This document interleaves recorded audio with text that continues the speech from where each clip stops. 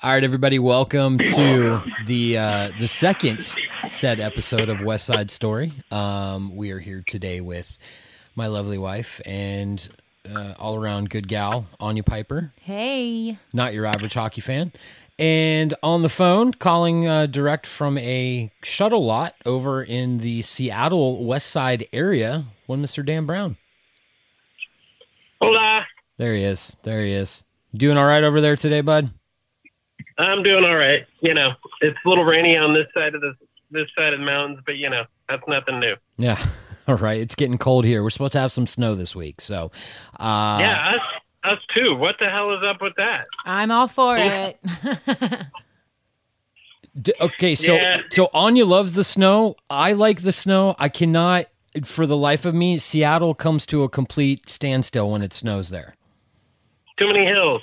Yeah. Uh, yes. a couple times leaving uh, Harborview Medical Center. I know that that hill there scares the shit out of me thinking about with ice and snow on it. So, But yeah, people have been snowboarding down that hill a couple of times. Perfect, perfect. All right, well, we are, uh, well, by the time this airs, it'll be uh, Black Friday, but we're in Thanksgiving week here. Everybody is super, super busy, um, but there's a lot going on. So we want to to kick it off with a few things. If people listening have not heard, uh, quite a few things have happened over the last couple weeks in the women's hockey world.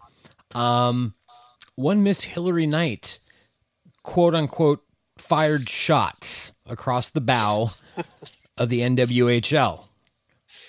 Uh I guys correct me if I'm wrong. I'm going to just throw the quote out as I understand it then you can go at it. She pretty much said the NWHL is a glorified beer league. Would you care to comment, Mrs. Piper? um, I just think it's got to be careful with what you say. You're trying to fight for a better league for you, for her, for all the girls that want to play professional hockey, and you got to be careful what you say. It's just ridiculous um, what things can be said, what can be misconstrued, and all that fun stuff. So I just think that she was wrong. I think she's inaccurate. I don't think it's necessarily glorified beer league because what are you fighting for? I mean, if it's just a glorified beer league, then why fight for that? I don't know. What do you think? Right. right?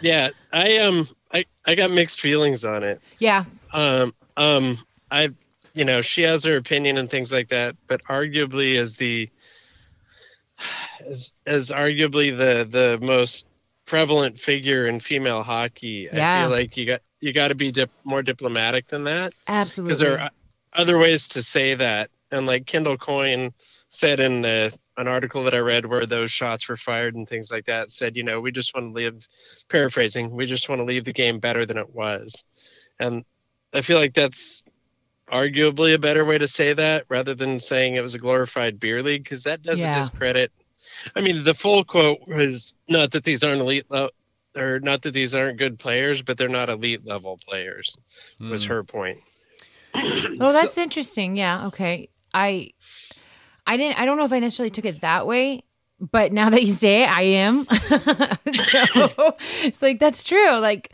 I don't know, that makes me not like it anymore.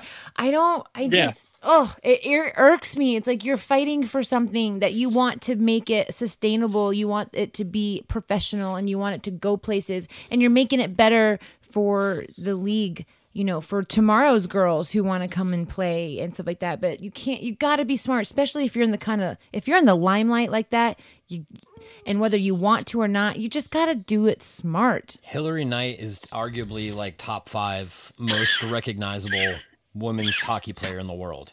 Um, so She's probably top top mm, probably top fifty from Nike sponsored athletes well, that- with all the Wow. that's huge. with all the Olympics. So if you think about it, I mean, I've got nothing to base that on, but just Yeah. thinking about who their staff of athletes are, Yeah. like with the success of the U.S. women's national team, um, you know, she's up there. Yeah. She's got to be top 100 at least. And you know what? They're only not, they're just in their five years for the NWHL. It's like, I don't, I don't understand this boycott because where did the NHL come when they first came? They only had six teams. Yeah. They didn't. I mean, they they had to work, and it took years before it got, grew and became better. And be, I mean, I don't know. I just it's gonna take a lot of time, and I think it's really cool that you know the NWHL sponsorship with the funding with the investors. I mean, that's so cool. Right? Yeah. Before we before we jump to that, like to me, your analogy about the original six is pretty pretty similar here because Yeah. you know you had the Pacific Coast Hockey Association, you had the NHL. It was very kind of localized. Now, granted, they've spread it out in some cases globally with uh, the the team in China for the CWHL before they folded, but it is a growth thing. And just last podcast, a couple of weeks ago, we were talking about. Hey, isn't it so nice that they're all working together? Yeah. and not- and then like the next day i'm like ah man I know. i mean I was just gonna say that's what got me. I was so impressed with with you know you had talked a lot about how there wasn't a lot of animosity and stuff like that. This just kind of felt like a black eye to the whole effort. yeah for sure for sure and then uh you know with the sponsorship deal that's kind of nwhl countering and said hey really because we got 20 investors Yeah. including form, former devils uh co-owner former img live ceo um, Andrew Skirdo. I mean, it's no slouches as far as investment, and they've made it clear that they want to do with the NWHL what the NHL did yes. from the original six and expand it, and they aren't playing around with it. So maybe they maybe they quickened up the old pace to to get that out Maybe in the world. But Yeah, like they were they were saying, okay, glorified beer league. Does a glorified beer league get this much amount of funding available for it? yeah, I and think, that's not to know, say I know they need a. There's still a lot more that needs to be done. Um, I know that there's still a lot more. ugh, I don't even know what the word is, but like ultimately, there's still a lot of work to be done. I mean, you're not even five years old yet, or just barely five years old. I think is the right way to say it.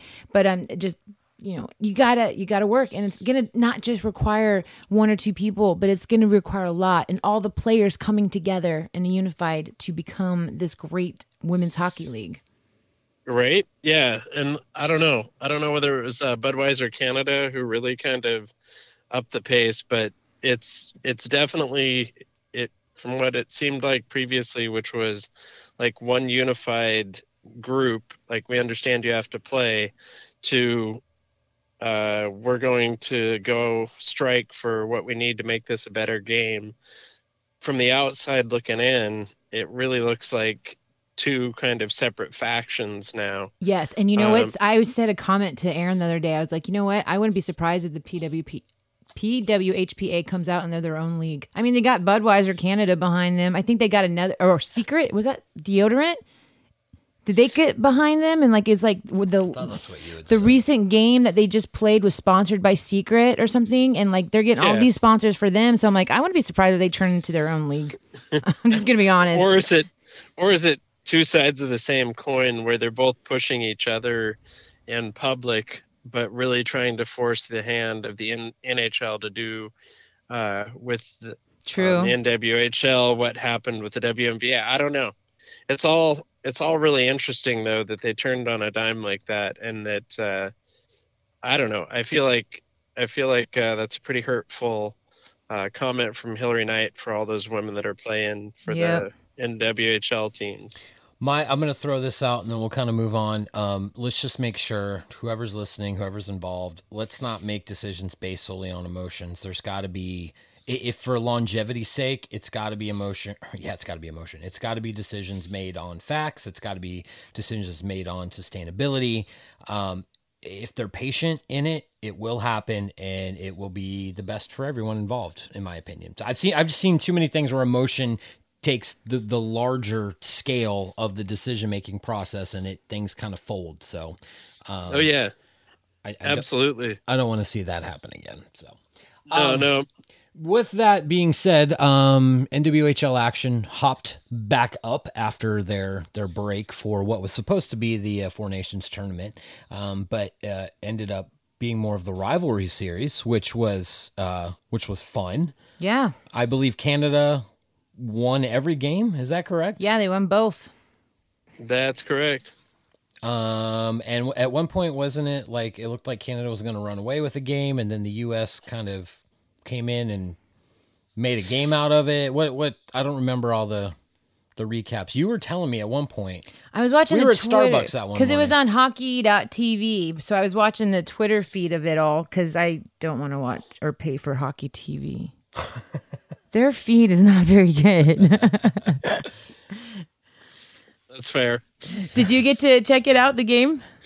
I didn't get to check it out. I had uh, too many too many irons in the fire, as they say. Um, but uh, followed up with some of the some of the highlights and things like that, and it did seem like um, the U.S. was getting outclassed in both games a little bit, and then Yeah. they they started coming back, making a game out of it. But you know, it's this isn't. These are always heated matches, but uh, but um, not exactly. Didn't seem like the U.S. came to play as much. in- No, in either that- one yep. from what I saw. Hmm. And who knows? Maybe it was a bad weekend. Yeah, let's just hope that when it gets over here on the third and the fifth of February in Victoria and Vancouver, get your tickets if you haven't already. yeah. By the way, if if you go out to Ticketmaster, they have men's hockey as the picture for purchasing Oh my tickets. God. Are you serious? Dead serious. So, that is you know, horrible. if you want to stick a hook finger at Ticketmaster, feel free. But Way to go, the- Ticketmaster. right. Hopefully they'll have it together. Uh, the U.S. will have it together by the time they get out here in February. You know, I do have a quick question with the the the Canada uh, um, USA rivalry series. So the players that have boycotted the NWHL, the Americans and Canadians, whatever, do they like? Are they are some of them on the same like team for USA? I don't even know if I'm asking this correctly. Are you saying like? Uh, the people that so like there's players on the USA team that are on on the PWHA or PWPH. yeah, and then the NWHL. I Too many words. I know it's too many acronyms, so I was like blah blah blah. But do they have to come together and play on the same USA team or the same Canada team?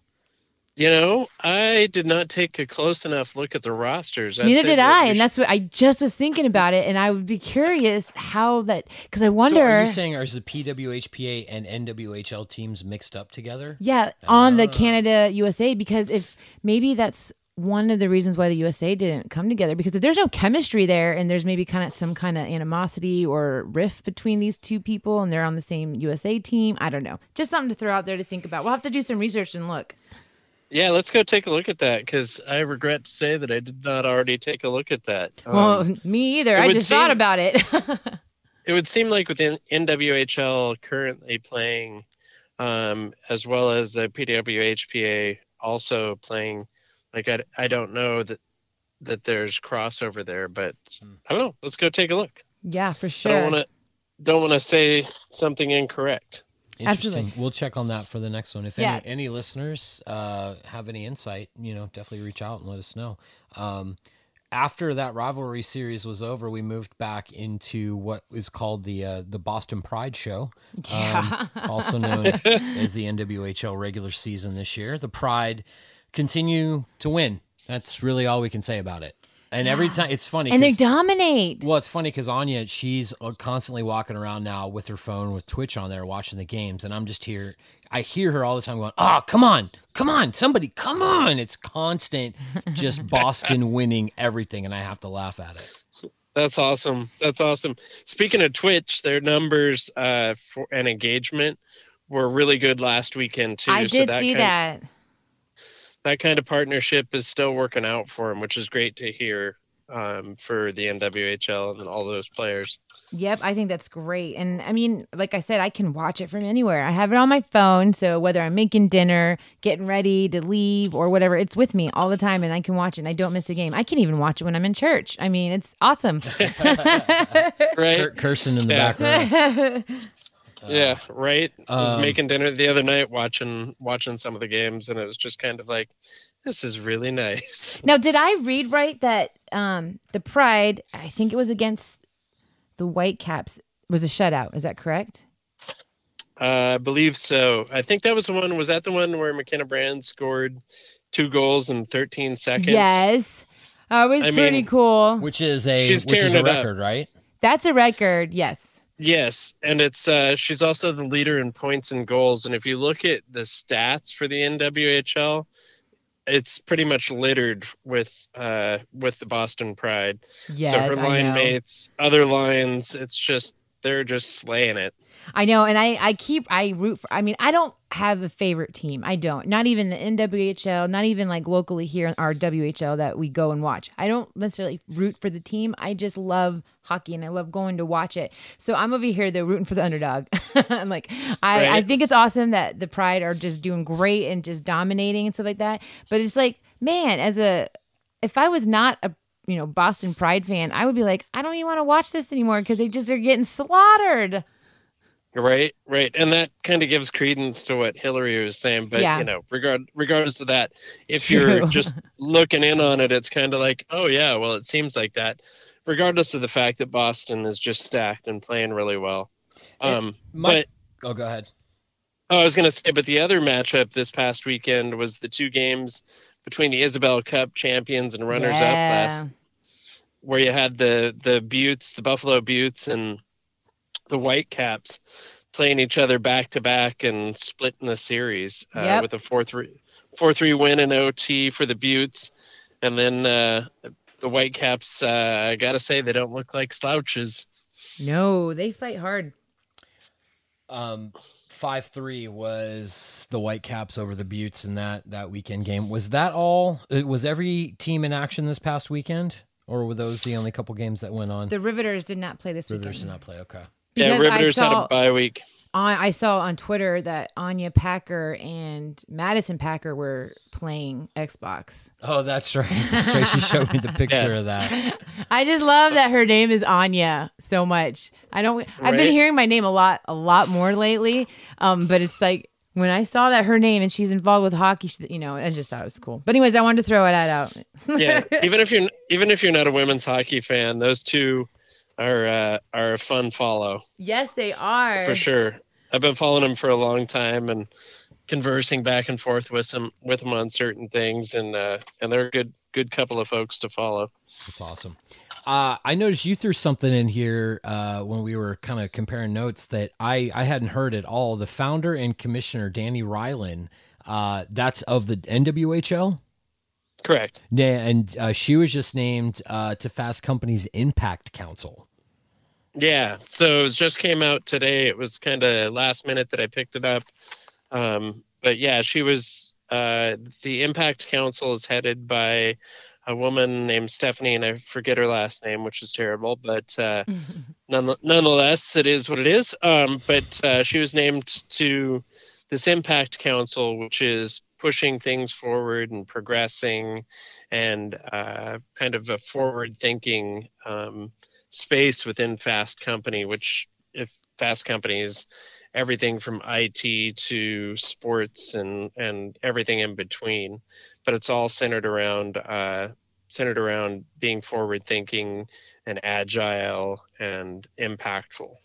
Yeah, I've, I'm familiar. I've um I've been following their magazine. I used to have subscription to it, but um I, I read a lot of their articles and stuff, and, and they do do a lot, very much at the forefront uh, of a lot of of direction that business is going, um, which is really good. So that that is awesome. Um, I don't know. Is there anything else really in in the women's hockey world that we didn't cover? I mean, we could have talked Hillary Knight for half an hour. yes. Yeah, for sure. let's um let's move on to to uh, some local hockey news. Yeah, that's Uh, my favorite. I think. We are deep, deep, deep into the WHL season now. Um, we're past the quarter mark. Things are starting to shake out. A couple things we're starting to see.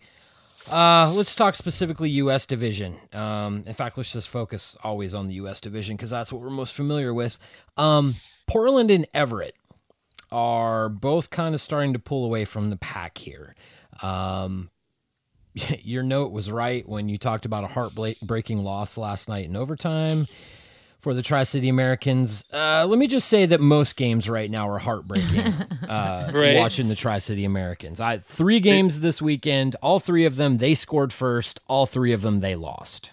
At least you're not a Seattle fan. That's true. You know, uh, Sorry, Thunderbirds fans. Thunderbirds, they are definitely in a rebuild right now, and I'm with you on that. They're gonna be fine. Um, it's kind of funny watching Keltie Jeri-Leon do really well because he was over here um, his rookie season. He got drafted here by the Americans and then moved around a little bit and has now ended in Seattle. And every time I see Seattle here and him on the ice, it looks like he just wants to hurt somebody. Uh, so um, yeah, who knows? I, I I don't know. I don't Could know be. the whole, the whole story behind that. Were you watching, or did you see the footage of the of the loss last night? I did see the highlights from you're talking about with the Everett game. Yeah, Yeah, yeah. I- Ken, yep. Kendop's breakaway, uh, it's just crushing because because Tri City looked good and had it uh, had it down attacking Everett's net, and all it took was one bounce of the puck, and Kendop was down on the other side of the ice, and it was exciting play. But I'm I was my heart was hurting for you a little bit. well, you know, the fact of the matter is Everett has the Americans' number when it comes to offensive um, opportunities. I looked at that game last night. Tal- Talyn Boyko, uh, the 16 year old goalie, was incredible. Stopped like 51 of 54 or 55 shots or whatever. I mean, when you're putting up that many shots on goal, you're if you were to lose that game, you would look really bad. Um, Yeah. Because I think the Americans, on the other hand, put up like 20. Now that begs the question. Like, I'm pretty sure Dustin Wolf was in net last night. Um, but it, it begs the question maybe the Americans had the better opportunities, but they didn't have as many of them. You know what I'm saying? You know where I'm going with that? I mean, when, when the shot differential is like a minus 30 for your team, you're probably not going to win. So, Yeah, for sure. Unless the shots you're taking are the right shots, and that's uh, you know the Yeah. exception, not the rule. Exactly. We watched that Friday and Saturday both. I mean, they were both close games. Friday night, you know, the Americans they lost in overtime to the Winnipeg Ice, which is kind of weird to say Winnipeg Ice and not Kootenay Ice. Um, but yeah, the Winnipeg guys ain't doing too bad this year either. they aren't. And the funny thing was, was the guy that won it in overtime for Winnipeg is a former Tri City American, uh, who celebrated from the goal line all the way out to the red line. Man, he was so happy to score that game winner. Um, I'm serious. He he was. Oh, you could tell. You could tell. Um, and then the next night playing Kelowna was like a two one loss. Which Kelowna's a funny one now. They they stepped out on the ice and and the buddy of mine in the same section looked around and and said. This Kelowna team's kind of big. We're not used to that when you watch Kelowna. Usually they're, you know, skill speed skaters, but they're pretty big boys now. Yeah, they uh, they look like a Saskatchewan team. Yeah, right. Yep, they got all the farmers out there. So, um, yeah, it's uh, U.S. division's really starting to take shape though, as far as Everett and Portland. Portland's doing well. Uh, I don't know what the standings are. Um, I did see. Uh, what is it? The uh, Everett's got a game in hand on on Portland, and they're up by a point or two points. Yeah, I think Everett's uh, 16 5 and 1 and um and the Winterhawks are 15 5 and 1. Yep. So Yep. a couple of points on them with a game in hand. So it looks like if things play out that way, like we might be watching those guys come playoff time. Very, po- very possible. Uh, there for a while, I thought Spokane was going to struggle. They've they've kind of gotten things back together. Um, uh, Portland, I good good for them. I didn't think they were going to do much this year, but good for them. Their young guys have really come together. When you have a a, a, a person like Mike Johnston leading the group, um, he's pretty good. Pretty good at what he does in the WHL. So, um, not so much in the NHL level, which it made me kind of happy when he went to the Penguins and then didn't do so hot with the Penguins. So Yeah. that's just yeah. personal vendetta. It's all That's fair. I think I we're was happy. happy- Go ahead. Sorry. I was gonna say I was happy to see him not do too well with the Penguins as an Islanders fan. Oh, anyway, yes. Oh, you're an Islanders fan, huh? Yes. yeah, yep, Dyed in the orange and blue for since before since before the dynasty years. And you know, the worst thing is I'm an Islanders fan. Well, not right now. It's actually really good that I'm an Islanders fan for the Yeah. first time in a while. And I'm a Mariners fan. So people are lament to me about sports teams, and I'm like, you have no idea. Yeah. Just really, really, unless you're, you know, a Maple Leafs fan. Yeah, that's another. That's that's a yeah. Our other podcast, we'll talk about that. That's a that's a sinking ship. Um, but I don't know. Go ahead. I was gonna say I don't know, man. They uh, they seem to have turned it around since Bab left, so we'll see. They've only played a game or yeah, a game, so we'll see if they uh, get their get their stuff together. But they certainly looked like they played better in that game than they had for weeks. That's true. you never know. Sheldon Keefe has yet to experience a Maple Leafs loss, so uh, um, maybe he can keep it up for a while. I, I just I feel bad for the fans that are paying three hundred bucks to go watch games there and not get a championship in return. But that's just a personal thing. Uh, Right? uh, speaking of that, uh, for anybody listening, anybody cares, uh, the wife and I will be in Philadelphia. Yeah, we will. in March to uh, to watch the uh, Flyers and Bruins play on a Tuesday night tilt. So we're pretty excited about that. That's awesome. Yeah, it was a early Christmas slash anniversary slash all that for the next five years present. Yep. We're saving That's our good. nickels and dimes. Considering you know you were on your on death's door this time last year, You know, it's good to hear that you've got some vacation plans. It's Yeah. it's funny, man, because it's it, you're right. I mean, this time right now, I was I was over there. We talked about it on another podcast I do this morning. Um, I try not to think about it, but it does creep up in the back of my head, and I am very very thankful that I'm not in that same place right now. So, So are we all, my friend. So are we all. uh, real quick before we wrap up, um, NHL to Seattle, there was a few things that came out. You want to touch on those real quick? Yeah, yeah. Um, Ron Francis was on 31 Thoughts uh, with Elliotte Friedman and Jeff Marek. If you haven't listened to it, um, plug.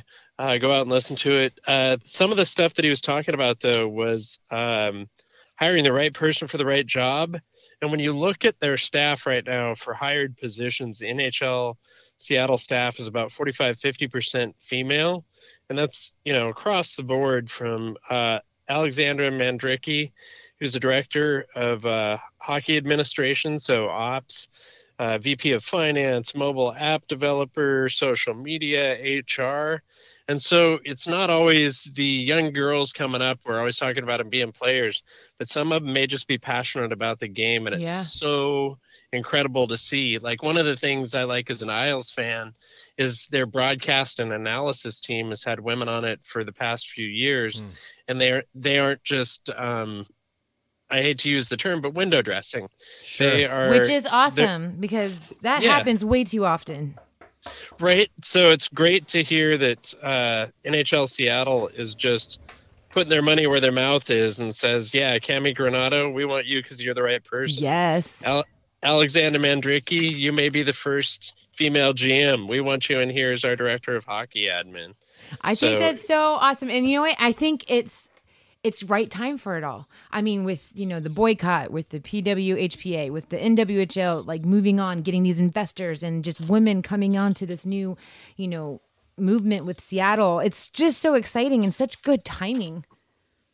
right? Yeah, they want to do Seattle NHL. Seattle wants to do stuff differently, um, but and they're certainly certainly doing things differently from the Yes. standard with moves like that. But either way, it's great for hockey, great for uh, great for the women that have been hired into those positions, and the people that aspire, the women that aspire to be in Mhm. positions like that for other teams. I do have a Um, quick question. I don't know, maybe if you know the Whoa Ho Pro Seattle, which I'm not gonna lie, every time I see that hashtag, I think of women hose. Yeah. I'm not kidding. I'm just gonna call it out. Every time I see that hashtag, I do a double take. And I'm like, okay, that's all I see is woman hose. I'm like, okay, wait, no, that's not right. Anyways, moving on. Do they have any affiliation with NHL to Seattle? Uh, so, not affiliation from a corporate perspective, but uh, the woman that I spoke about with Zoe Harris Yes. um, in the last pod, uh, John Barr runs NHL Seattle and quit his job at Microsoft, I believe it was, to pursue getting an NHL team here, and did that full time for Wow. years. And so re- he he teaches our Learn to Play program on Sundays. Awesome. Um, so, so I'm lucky enough to call him a friend. Um, but within our organization, Zoe was our executive director and basically lived, ate, and breathed uh, Mm-hmm. WUFA, Washington Wild Female Hockey Association, for years.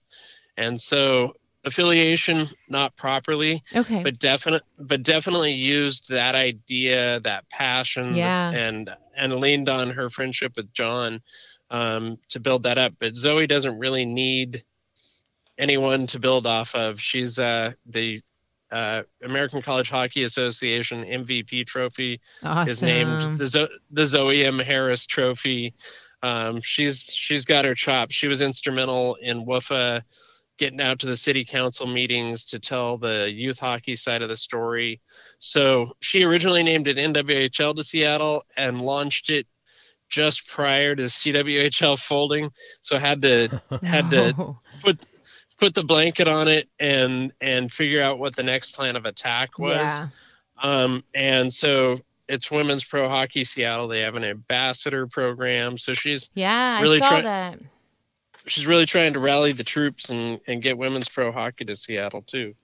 It's a perfect time for it. I think it's a perfect environment for it as well. Yeah, yeah, for sure.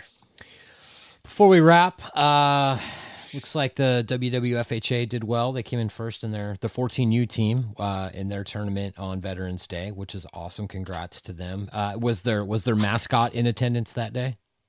Their mascot was not in attendance. Their Oh. mascot, uh, their mascot has recently um, been hanging out with the uh, Major League Baseball mascots and was otherwise otherwise occupied. Okay, all right. Well, we'll leave it at Yeah. that for now.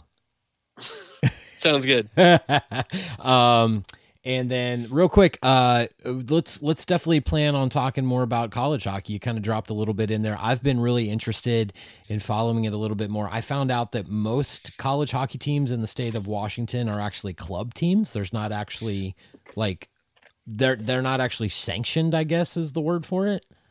Yeah, they're intramural club sports, um, not uh, not officially sanctioned. There's some Pac-8 teams, um, like uh, and like ga- teams like ASU and things like that are playing and have a special official sponsorship. Uh, UW hockey, Western Washington, those teams have been playing a lot of uh, a lot of club hockey, so it's not officially tracked here and there Gotcha. but there, it's been a rough year for Western Washington hockey. Actually, Washington hockey altogether.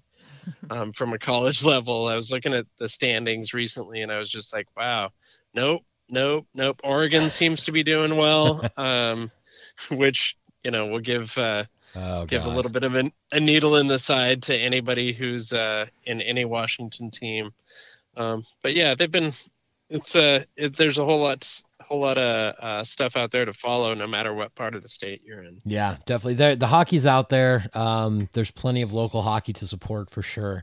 Um, and you know, we just we just love talking about it from the grassroots level here. So, um, I think we're gonna wrap it up for this this episode number two. We'll be back with everyone in three weeks, or not three weeks. I'm sorry, in two weeks. I'm losing my head. This the holiday season's just way too much for me right now. Um, any closing words for you? Let's hope that no more women hockey players say anything stupid. that's that's probably a good wish. I think uh, because I think we haven't seen anything in the nearly two weeks since. I hope uh, I hope everybody was like, "Oh, Hill, come on now." Right? somebody, somebody pulled her aside and said your intentions were right on, maybe not the best delivery. So, Yeah, yeah, and I'm sure it's somebody that she's played with. oh yeah, It's on for sure. I hope so. Anyway, so no, I got no closing remarks. Just I'm excited. We get to see the Riveters this weekend and you to see Madison Packer. Woo! That's awesome. You and me, you and me both. The Ribs are the uh, WUFA uh, junior in WHL, the Woofa sister team, and have been for years. So I Nice. always like to see them do well. Yeah, well, let's root them on this weekend. Very cool. And for everyone listening, remember if you're not a fan of women's hockey, then you're just a fan of men's hockey. You're not a fan of hockey in general. Keep that in mind. Damn straight. Booyah. All right, we're gonna wrap it up today. Dan, thank you so much for your time, bro. Um, I know you got a lot going on, so go out there and play dad taxi for a little bit.